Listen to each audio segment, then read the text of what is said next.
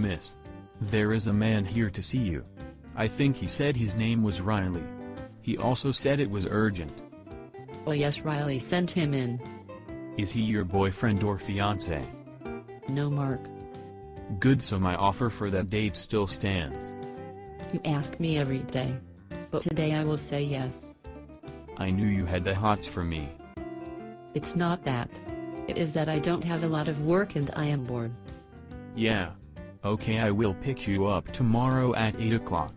Be ready. Fine. Whatever.